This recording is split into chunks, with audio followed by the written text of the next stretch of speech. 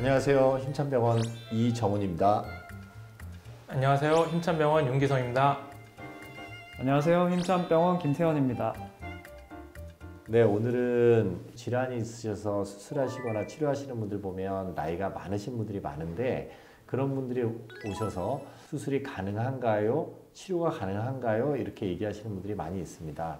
보통 이제 보호자분들이 많이 여쭤보시죠. 저희 어머니가 몇 살이신데 수술이 가능하겠냐 이런 걸 많이 물어- 물어보시는데요. 간단히 말해서 정답은 없습니다. 정답은 없고 사실은 나이는 전혀 문제가 아닌 것 같고요. 그분이 가지고 있는 기저질환 유무 또 하나는 환자의 그 어, 운동 능력 상태라든지 이런 것들이 상당히 중요하다고 보고요. 개인적인 경험으로는 저는 만 나이로 89세까지 그 전신 마취해가지고 수술을 해봤고 굉장히 정정합니다. 음. 그리고 겉보기에 누가 봐도 이분은 90살처럼 안 보입니다. 그런 분들은 거의 뭐 뛰어보세요 하면 뛸 수도 있을 정도로 정신 건강 상태가 좋으시고 기저질환도 없고 음. 그러시다면 사실은 나이는 문제가 아니고 음. 수술이 다 가능하십니다. 제가 작년에 어, 양쪽 무릎 인공관절을 하신 분인데요. 그분이 96세신데 수술을 하시겠다고 오셨어요. 보통은 어르신들이 오실 때 자녀분들하고 같이 오시거든요. 근데 그분은 혼자 오셨어요.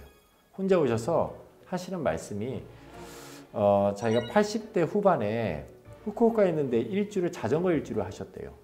예, 그만큼 activity가 좋으신 거죠. 그래서 앞으로도 이걸 내가 운동을 계속하고 원하는 여행을 다니고 이래야 되는데 지금 무릎이 아파서 그게 안 된다. 다른 데는 다 괜찮다. 본인 말로는 예, 이 무릎을 좀 고쳐달라 하, 하시면서 오신 분이 계셨어요. 그래서 그분이 이제 수술을 하시고 지금 한 3개월 정도 지났을 때부터 네, 아주 잘 걷고 생활하시면서 감사하다는 얘기 듣고 그런 상황인데 저도 보면서 이제 그런 생각을 했죠. 아 나이가 정말 중요한 게 아니고 그 환자의 액티비티나 그 환자 상태가 중요하다고 생각이 들었습니다. 미국 같은 경우는 이 무릎 혹은 고관절 인공관절 수술을 할 때 좀 빨리 퇴원을 시킵니다. 수술하고 당일날 퇴원을 시키기도 하고 바로 다음날 퇴원을 시키기도 하고 뭐 2, 3일 내에 대부분은 퇴원을 하는데 그 퇴원을 빨리 할 수 있냐 여부를 외래에서 점수를 매긴 스코어가 있더라고요. 2017년도에 처음 이 스코어가 나왔을 때는 빨리 퇴원할 수 있는 기준이 60점이었거든요. 60점 미만이면은 아 이분은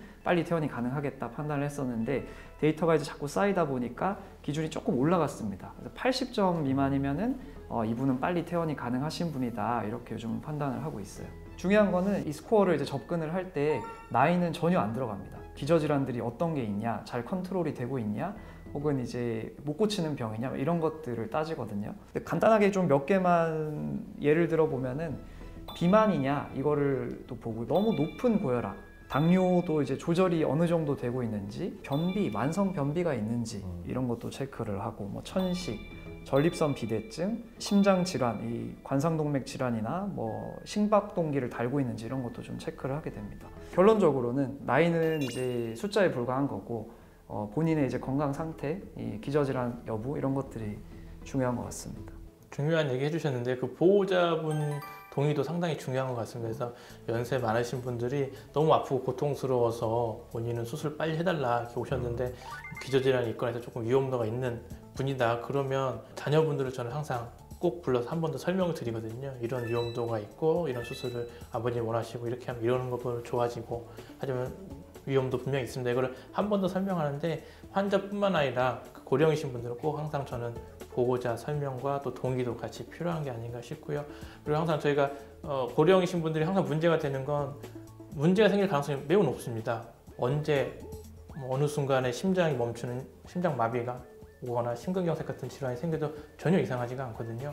그런 분들이 수술이라는 큰 이벤트를 겪으면서 그런 것들이 언제든 생길 수가 있습니다. 그거는 사전에 저희가 아무리 준비 작업을 잘하고 모든 걸 캐치한다고 하더라도 돌발 변수점 나타날 수 있기 때문에 그런 것까지 다 대비하려면 항상 환자뿐만 아니라 보호자분 상담이나 설명이나 이런 것도 필요하고 동의도 충분히 필요한 것 같습니다. 환자분들이 그런 얘기 좀 많이 하시긴 하거든요. 아니 수술 받는데 뭐 무릎 수술 받는데 왜 머리 검사는 왜 하고 왜 폐 검사는 왜 하고 심장 검사는 왜 하냐 이렇게 물어보시는 분들이 많이 있습니다. 근데 직접적으로 환자분의 상태나 이런 것들을 저희가 다 평가하지 않고 평가하지 않은 상태에서 수술을 시행할 수는 없거든요. 그래서 그 전문적인 분야에 있는 선생님들이 같이 백업을 해줄 수 있고 봐줄 수 있는 그런 어, 병원에서 수술을 하시는 게 또 필요한 조건인 것 같기도 하고요.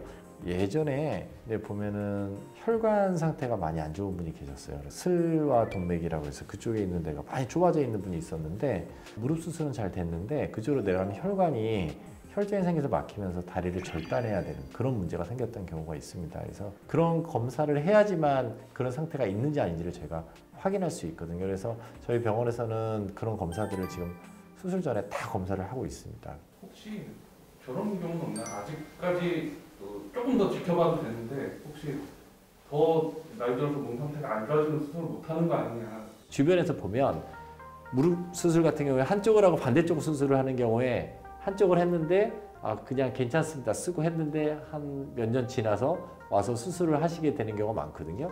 뭐 환자분들이 항상 얘기하죠. 그때 그냥 다 해버릴 걸 이랬으면. 근데 이제 저희들 입장에서는 볼 때 아무래도 좀 남아 있거나 여유가 있으면 그때는 더 쓰시다 하는 게 더 좋습니다 라고 말씀을 드리지만 환자분이 이게 너무 고령이고 상태가 몸이 나빠질 상황이 뭐 된다 그럴 때는 이제 환자분하고 상의를 해서 연골의 손상이 정도가 많이 진행이 됐으면 수술을 하기도 합니다. 근력 같은 것도 너무 떨어지기 전에 해야 뭐 재활도 좀 근력 떨어진 거는 사실은 협착증, 척추관 협착증, 허리가 안 좋아서 협착증이 있는 환자분들 경우에는 다리 근육이 빠지는 경우가 상당히 많거든요. 그런 저희 경우에는 척추 같은 경우는 약간 개념은 다른 것 같습니다. 그래서 미리 걱정이 돼서 하진 않습니다. 왜냐하면 MRI랑 환자분 증상이랑 안 맞는 경우가 많거든요. MRI 딱 보면 어 이 분이 어떻게 걸어왔지? 딱 보면 멀쩡히 걸어오시고 운동도 많이 하시고 골프도 치신다 그러고 그러신 분도 있고 MRI상에서 아 이 정도면 주사만 맞고도 좋아지겠는데 했지만 결국은 주사 뭐 시술 다 안 돼서 수술까지 가시는 경우도 있거든요. 그래서 MRI만 놓고 뭐 이 환자분이 지금 멀쩡한데 증상이 적은데 미리 수술하거나 하진 않습니다. 왜냐하면 이 MRI 소견 가지고도 평생 잘 쓰시고 수술 없이 돌아가실 수도 있거든요. 그렇기 때문에 증상이 어느 정도는 돼줘야 허리 같은 경우는 어, 그에 맞는 MRI 소견, 그에 맞는 환자분 증상이 있을 때만 수술을 권해드리고요. 수술은 척추 부분에 대해서는 최대한 미루고 늦, 어, 늦출 수 있을 만큼 늦추는 게 좋습니다. 대신 마비가 오면 근육이 위축이 옵니다. 본인은 못 느끼는데 마비가 됐다는 걸 모르시고 와가지고 이렇게 말씀을 하세요. 왼쪽 다리가 많이 얇아졌습니다. 가늘어졌습니다. 자세히 검사를 해보면 왼쪽 다리에 신경에 문제가 생겨서 근력 저하가 없기 때문에 근육이 위축이 오는 겁니다. 그래서 좌우차가 있고 그런 분들은 빨리 수술을 해줘야 합니다. 그렇게 명확한 증상이 동반된 증상이 있으면 수술을 권하고 미리 척추 같은 경우는 수술하거나 하지 않습니다. 최대한 수술을 늦출 수 있으면 늦추자라고 저는 설명드리고 그렇게 하는 게 맞는 것 같습니다.